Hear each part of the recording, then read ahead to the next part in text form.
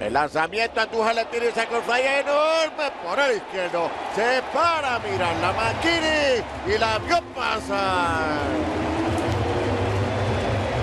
Cuadrangular el batazo para el novato Miguel Andújar, su número 20 de la temporada.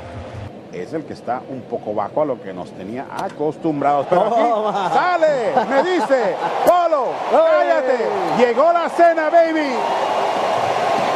El Osuna, la pelota se va, la pelota se va. Y esa pelota se convierte en historia cuadrangular número 15 del oso. El saludo para la cabina. Y allá va, 1, 2, 3. Dañó el teclado, que salga la conga. El oso ha empatado. Lanzamiento y el carro le tira con fly profundo por el izquierdo. Atrás Maquini, va atrás, sigue atrás y la vio pasar. Cuadrangular el batazo para Giancarlo Stanton. Y los Yankees aumentan la ventaja a 7 carreras por cero. Y ahí se fue esa, señores, de línea. La bola dentro del calentero y más. ¿no? El calentero fue a rebotar. Así que el juego está una por una. Albert Pugo sigue haciendo daño. Lo dijo Enes Martínez. Sigue haciendo números. 19 en la temporada con esto.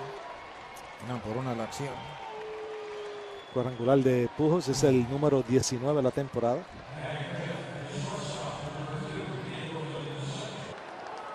Justamente hoy el tercero de la serie, el disparo Villanueva. Conecta imparable al jardín izquierdo. No se detiene Jankowski. A toda velocidad, el plato. Los padres ganan este encuentro. Cristian Villanueva, el héroe. Victoria sobre los Diamondbacks. Las acciones, siete carreras por seis. ¿Y en qué momento Villanueva con ella empata la marca? Pelotero mexicano novato. Empatando con Benjamin Gil, 46 carreras producidas. Y de esta manera entonces los padres de San Diego dejan tendidos en el terreno de juego los Diamondbacks. La victoria para los padres. Siete carreras por seis. Qué gran encuentro, qué gran turno Villanueva luciendo.